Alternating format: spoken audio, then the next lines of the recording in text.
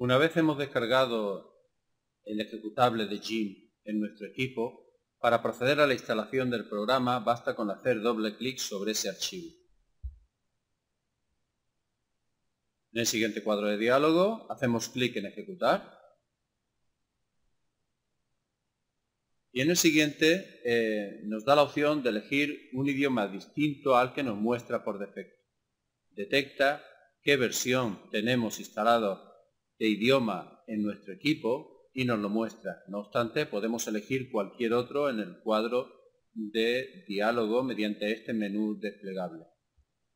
En nuestro caso lo dejamos tal cual está, español, y hacemos clic en aceptar.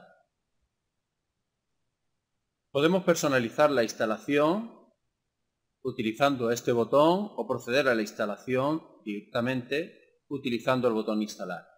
Vamos a ver las opciones de personalizar nos muestra el acuerdo de licencia. Se trata de un programa con licencia GPL. Hacemos clic en siguiente. Nos muestra la carpeta del disco duro en el que se va a instalar el programa. Hacemos clic en siguiente.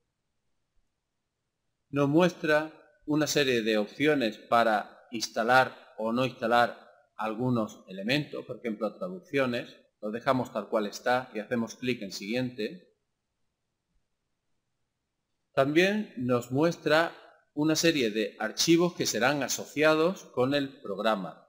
Vamos a hacer clic en siguiente. Y en este cuadro de diálogo nos indica si queremos poner un icono adicional, por ejemplo, en el escritorio o en la barra de acceso rápido. Vamos a crear un icono en el escritorio si suponemos que vamos a utilizar Jim con bastante asiduidad. Hacemos clic en siguiente y en el botón instalar. Comienza la instalación del programa, tardará, dependiendo de la velocidad de nuestro equipo, eh, desde pocos segundos a eh, unos minutos.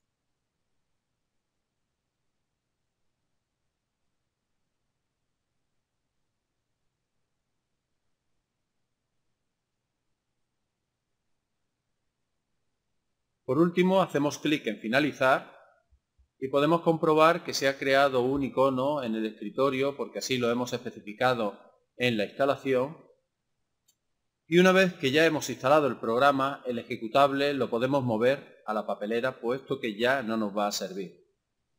Y no nos va a servir porque si procedemos dentro de un par de semanas o dentro de un par de meses a la instalación del programa Jim, lo más adecuado siempre será acudir a la página web oficial para ver si existe una nueva instalación del programa. Para comprobar que tenemos Jim instalado, aparte de que eh, ya eh, podemos hacer clic sobre el acceso directo, en el botón inicio de Windows podemos eh, comprobar que efectivamente tenemos el programa Jim instalado y si no lo encontramos, tecleamos en el cuadro de texto el nombre del programa. Para ponerlo en marcha, hacemos clic sobre él.